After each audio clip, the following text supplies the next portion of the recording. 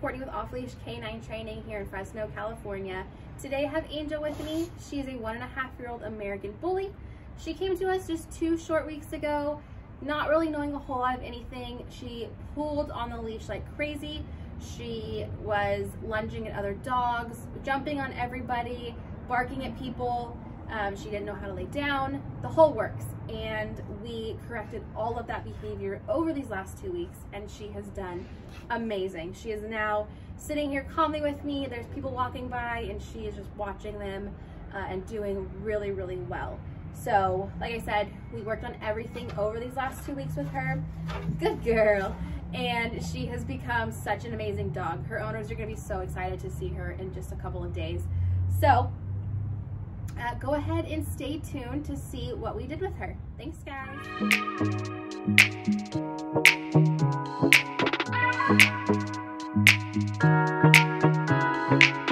Thank you.